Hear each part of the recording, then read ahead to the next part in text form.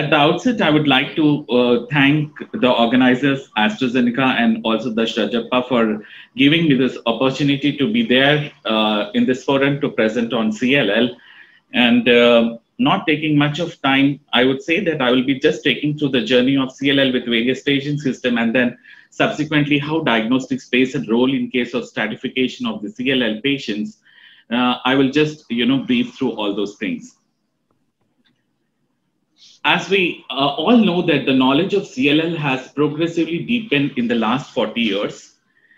And the diagnosis of CLL is usually suspected when you have a blood count showing uh, absolute lymphocyte count of 5 into 10 to the power of 9 per liter. And this should be present for more than three months of duration, as defined by the international uh, guidelines for CLL. And the circulating peripheral blood smear, which usually shows this neoplastic leukemic cells, are characterized by mature appearance. What exactly is the mature appearance is presence of minimal amount of cytoplasm, a condensed chromatin, absence of nucleoli. These usually characterize the mature appearance. So when we see that this are circulating peripheral lymphocytes, we need to prove the clonality of the cells. And the clonality is usually proven by immunophenotyping, which is carried out by flow cytometry. And the important antigenic expression profile, what we see in case of CLL patients is expression of strong CD523 and a decreased or dim expression of surface immunoglobulin CD20 and CD79, which are usually dimly expressed. So there was a, a big harmonization in uh, recent 2018 where they said that presence of 5, 19, 20, 23, and surface kappa lambda is more than enough for diagnosis of CLL. Um, but again, there are certain instances where you might have to add certain markers to differentiate and you know come to a diagnosis of CLL, particularly in uh, the markers which are used are CD200, CD43, CD81, a new marker called as ROR1. These are the various markers which help in arriving a diagnosis of CLL. Again, what we see that there are numerous instances where we come across a different hematological neoplasm as a lymphoproliferative uh, disorders presenting as the leukemic presentation, where the levels of antigen expression and the intensity of uh, uh, the antibody, you know, expression makes a difference, and it helps in arriving a diagnosis of clonal B cell disorder. For instance, if we see a CLL and mantle cell lymphoma, they can be overlapped. They, they both are CD5 positive and they can be, you know, overlapped morphologically. But important thing, what we need to uh, look into is that there is usually a dim expression of surface immunoglobulin N20 in case of CLL, but in mantle cell lymphoma, what we see is the bright antigenic expression of CD20 and surface immunoglobulin. So a level of uh, immunoglobulin expression and the antigenic uh, intensity usually define the various uh, blood uh, uh, clonal B cell disorders. Some possible risk factors for CLL have emerged, although the underlying triggers are poorly understood. CLL, as we all know, that it is twice common in case of men than in women, with a sex ratio of 1.5 to 2. The incidence of CLL is higher in Caucasians than the other racial groups, less common in Asian populations, especially in China, Japan, than in Caucasian population. A family history of CLL or other lymphoproliferative disorders may be a risk factor for instance, 5 to 10% of these patients with CLL report a family history of malignancy. The, um, if we look at this slide, we see that the, the classic, uh, the, usually the stratification of this, sorry, there are various models for staging of the CLL and uh, which take into different uh, risk factors into account. And during last uh, four to five decades, we have seen that it has been evolving. The classic uh, thing has been the Rai and Binet staging, which was established in uh, 40 years back, where uh, they are widely used as conventional staging system in clinical practice and this is based on the physical examination, including peripheral blood, lymph node, liver, spleen, bone marrow. However, it has to be remembered that these two staging systems fail to discriminate among the patients at an early stage those who will experience an aggressive disease course. Subsequently, in 2007, MD Anderson Group has come up with a nomogram uh, to predict the overall survival for CLL patients. But again, it was in 2014 and 2016 where German group and the CLL International Prognostic uh, Group are just not the clinical features and the biochemical parameters, but also they have considered under the uh, various molecular abnormalities to, uh, to define the patients. So when it was compared with the nomogram proposed by MD Anderson group, the CLL IPI induced, included the cytogenetic abnormalities was confirmed to have higher prognostic value in overall survival and the time to first treatment for newly diagnosed patients. When we go for the clinical staging system, Rai and Binet still remains the first approach in case of uh, identifying asymptomatic patients that uh, uh, usually require an active surveillance, as well as those with an advanced disease in simple and very, uh, you know, an inexpensive way. So the RAI uh, system, which is usually uh, more often used in USA and India, it is based on evaluation of lymphocytosis, lymphoid tissue enlargement, anemia, and thrombocytopenia, and it's staged into 0 to 4. Whereas the Binet system, more often used in Europe, is based on evaluation of lymphadenopathy, anemia, and thrombocytopenia. Having said that, there is issue with the Binet and Rai system. There is inability of both staging system to predict disease progression in early stage patients. And there has been an intense search for intense search for the various factors that could do a prediction of eternal course of early uh, prediction of CLL.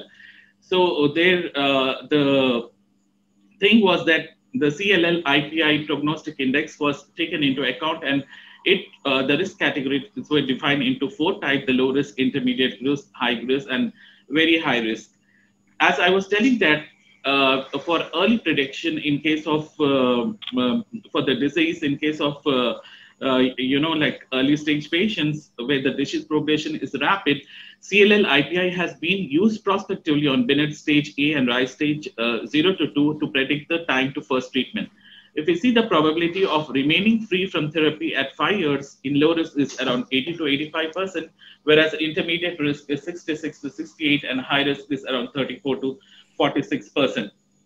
Apart from that, the uh, staging system of Binet and Rai have limited prediction for uh, the uh, power for regarding the response to treatment, while CLL and IP can predict the both progression-free survival and overall survival, and can be used in varieties of chemoimmunotherapeutic approaches. So now the CLL IPI will allow more individualized management of patients with uh, uh CLL in clinical practice and in trials testing the novel drugs if we see that uh, both the uh, Binet and uh, in the RAI can give a good uh, estimate of patient prognosis, uh, the 10-year median survival in case of uh, Binet stage A and zero stage in case of uh, RAI is around 10 years or so.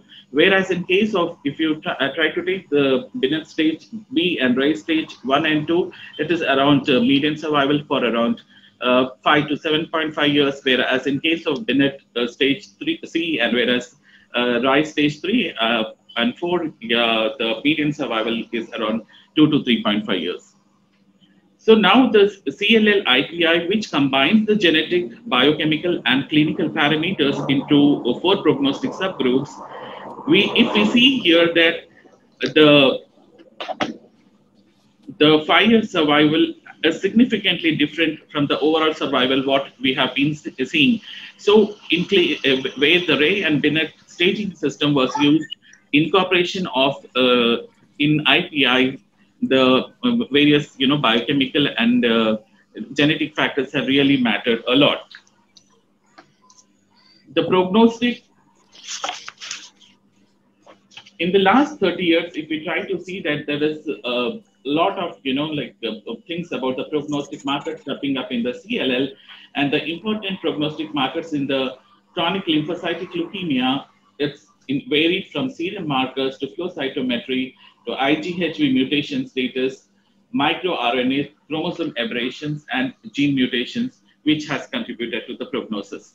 So what they have done is The clinical significance of this predictive biomarker CLL has really played an important role where deletion uh, 17p53 mutation, NOTCH1 mutation, CD49, IGHV mutation phases, and complex karyotype and microRNAs were reported to have a predictive value to guide the clinical decisions.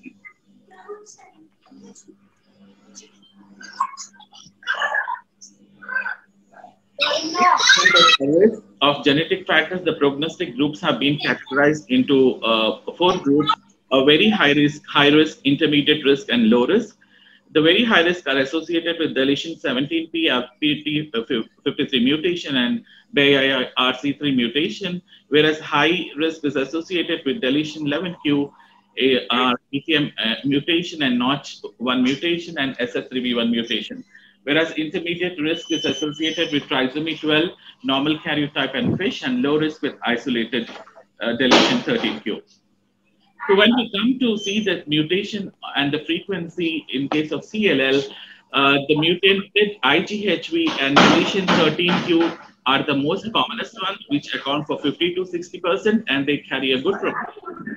But if we take uh, uh, unmutated IGVH complex karyotype, deletions in 11q and notch mutations and deletion 17p and recurrent balance, uh, balance translocation are usually carrying the adverse prognosis. So there are various biological factors which affect the prognosis in the patient. Chromosomal abnormalities offer further insight into disease progression and prognosis, and the prevalence is dependent on whether the patients are previously untreated or have relapsed refractory disease. Typically, what we uh, analyze is the in CLL patient is 16q, 11q deletion, uh, trisomy 12, 17p deletion, and 13q deletion. If we see that when uh, the patient survival is uh, monitored along with that of the adverse cytogenetic abnormalities, we, the TP53 mutations carries an adverse prognosis followed by 11q deletion, whereas uh, trisomy 12 carries an intermediate prognosis. A patient with normal karyotype and deletion 13q does not have uh, that bad prognosis. So how are these genetic aberrations detected in CLL? Uh, the genetic aberrations are detected by various techniques, the karyotyping, fluorescent in situ hybridization, and now the sequencing technology involves Sanger sequencing and next-gen sequencing. Uh, historically, we all know that karyotyping is uh, usually um, uh, in case of CLL had been a very bad thing because the, the CLL uh, cells are mature and you don't get good metaphases. But with recent advances with stimulation techniques, the cells goes directly into the cycle and then you can analyze the patient with karyotyping and it has an important bearing when the patient has a complex karyotype. I'll be coming to what exactly is meant by complex karyotype in my next slides subsequently, as uh, during the course when the karyotyping was difficult, in last 20 years or so, the fluorescent in situ hybridization has become an important technique for detection of uh, the uh, cytogenetic abnormalities. And the four cytogenetic abnormalities, which are commonly detected by FISH, as I was telling, 17, 13, 11, and trisomy uh, 12 is usually uh, detected by FISH technology. So it uh, has become a mandatory kind of thing to have this uh, FISH with this approach for uh, uh, assessing the recurrent genetic abnormalities, which is seen in case of CLL. As I was uh, talking about how uh, the conventional cytogenetics used to be an historic thing where you never used to get good metaphases, but now the chromosomal aberrations are usually picked in 40 to 50% of cases. And uh, which is really good supported by means of fluorescent in situ hybridization to identify the aberration in case of 80% of cases using disease-specific process. One more thing, what we have uh, come across now recently is another important issue of genetic risk stratification in CLL was identifying this mutation status of immunoglobulin variable heavy chain genes. as uh, the slide shows that uh, the, the, cytogenetic complexity, which is uh, something like a biological uh, puzzle for underlying clinical aggressiveness in CLL. First, it is important to know what exactly is meant by complex karyotype. The complex karyotype is defined as karyotype having more than three cytogenetic abnormalities, which could be structural or numerical. Um, but again, in CLL, in various uh, debate about uh, the cytogenetic abnormalities whether to take the three, uh, more than three as complex karyotype or the significance of more than five has to be taken into credence uh, to call it as a complex karyotype. There was a larger study which was carried uh, out and they have studied around 6,000 uh, patients or so and they have seen that patients with high cytogenic complexity with more than five chromosomal aberrations usually carried a bad prognosis and it was independent of whether the patient had P53 mutation or IGHV mutation at the clinical stage of the disease. So patients with more than five chromosomal aberrations become a bad prognostic in the abs- in the presence of any of the other things.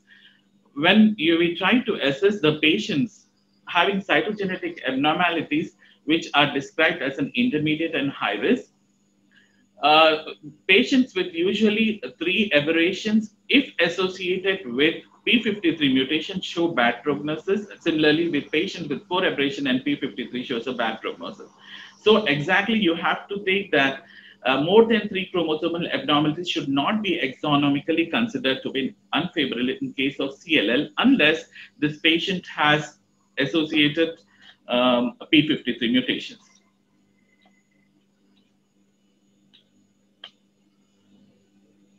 So next, once you are through with your thing, that comes your P53 aberration and the prognostic value of it.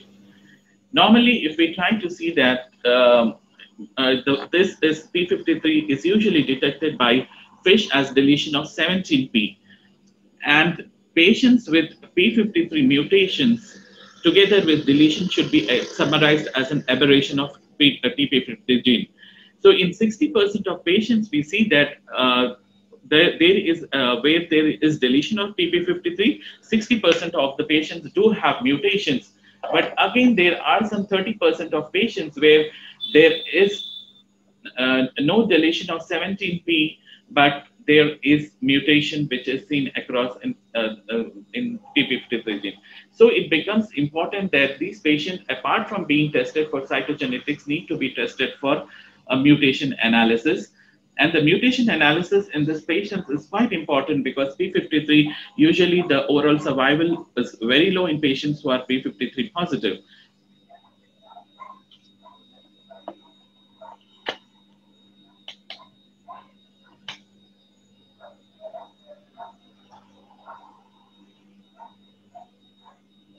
So how are we going to uh, detect these patients to uh, who are having P53 mutation?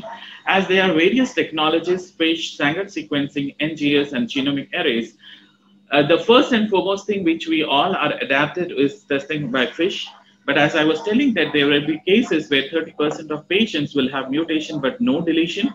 So it is important that we resort to a technique which is either a Sanger sequencing and NGS. And it is uh, usually the P53 sequencing should cover the exon 4 to 10 and the corresponding DNA binding domain of uh, codons 100 to 30, 300 and oligomerization domain on at codon 323 to 265 is the basic minimum requisite for testing of this uh, P53 mutations.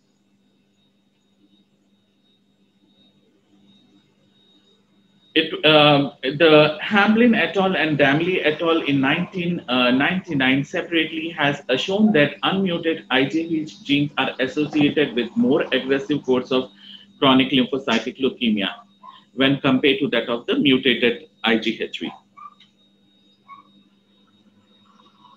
20 years after a landmark publication, there is a consensus that somatic hypermutation status of immunoglobulin a variable gene is an important cornerstone for accurate risk stratification and therapeutic decision making in patients with CLL. The uh, uh, IGVH uh, status has traditionally been determined by Sanger sequencing, but there is increasing growing demand that uh, these patients should also be tested by NGS uh, to uh, you know give a good results.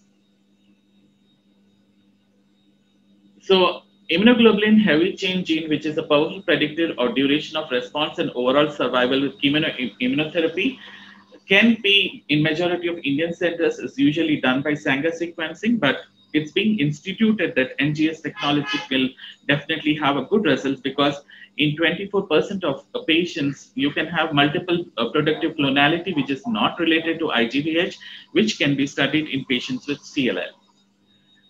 Now, it comes whether the challenge of unavailable IGH mutations stated in case of uh, CLL in resource limited settings. An issue that still needs to be considered relates to the feasibility to investigate all parameters included in CLL prognostic model in context with standard care of CLL patient.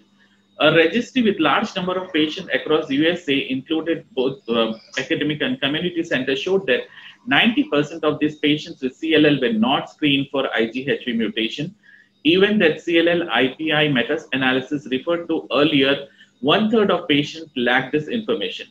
So this is, uh, when we see this, this is uh, indeed a matter of concern when it comes to the worldwide applicability of uh, uh CLL IPI, particularly considering that unmutated IGVH status has major impact on the scoring system because it has a score of two, which is double than that of the clinical stage and uh, uh, age of the patient. So when defining the high risk in NCCN guidelines, as uh, told by Dr. Pawan, uh, the DNA sequencing is important in detecting the TP53 mutation and IGH mutational analysis is important as uh, when mutated P53 is unfavorable, whereas uh, unmutated IGVH carries a bad prognosis. Coming to flow cytometry, CD38, ZAP70, and CD4090, which is a new marker, has an important role in defining the high-risk uh, patients Whereas interface cytogenetics using FISH technology, uh, the 11q and 17p are associated with unfavorable prognosis, and the complex karyotype, uh, karyotype which indicates unfavorable prognosis is presence of more than three are equal to three unrelated chromosomal abnormalities in more than one cell on a karyotype. Other factors which are now being seen with associated with high risk CLL are uh, the CD38 expression is an indicator of higher risk CLL and it identifies unmutated IGH clone which can be detected uh, flow cytometry, beta 2 microglobulin uh, which is associated with greater extent of disease. ZAP70 is associated with disease progression and patients with uh, ZAP70 it can be a predictor for Richter's syndrome in case of patients with CLL Notch one gene mutation, which is seen in around 10 to 15% of CLL patients, uh, again indicates a, a, transformation to a diffuse large B-cell lymphoma, whereas SF3B1 gene mutation, which can be seen in 10 to 15% of CLL patients, has dysfunctional protein processing, and these patients are associated to have resistance to treatment with fludarabine. Uh, not much of extensive studies are being published from India, but there is one such study uh, which is from Chandigarh uh, PGI, where they have studied the genomic alterations in chronic lymphocytic leukemia and their correlation with clinical hematological parameters and progression. And what they concluded was that 65% of patients with CLL has deletion 13q, which is associated with DLEU2 and DLEU1 RB1 gene deletion, which was the most common compared with the other abnormalities like deletion 11q and deletion 17p patients presenting with cytopenias and higher Binet stage, while those with deletion 13q had a longer time to first treatment. To summarize, I would say that deletion 17p, deletion 11q, that is your ATM and unmutated IGHV status has worse prognosis. Other markers like CD38, ZAP70, Notch 1 and beta 2 microglobulin and SF3B1 gene mutations are also associated with high risk. CLL IPI scoring should be used clinically to determine the prognosis. And the current NCCN guidelines define mutated uh, TP53 unmutated IGHV, deletion 17p, deletion 11q, and complex karyotype as an important prognostic markers for high-risk CLL. Thanks one and all. Thank you very much.